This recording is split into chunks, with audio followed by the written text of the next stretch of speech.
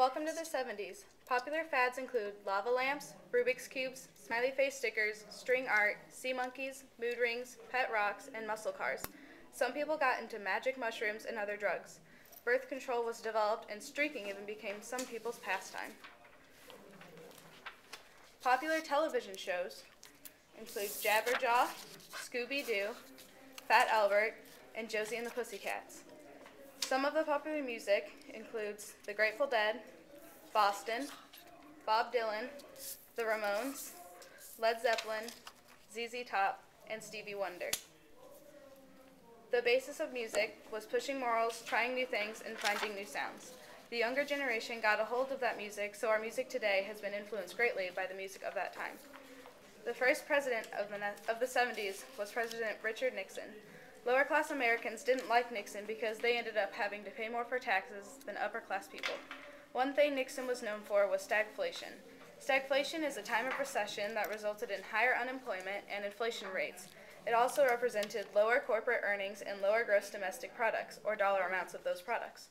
The economy was bad overall in this decade, and the stagflation was unique in that unemployment and inflation usually don't heighten at the same time.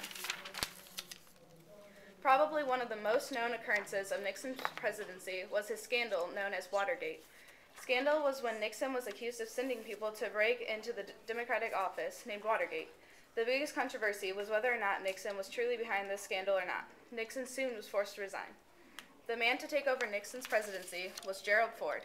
Throughout the 70s, some people came to know him as the Mender. This is because Nixon had the economy so bad with high unemployment rates that when Ford fixed the economy, he obtained that nickname.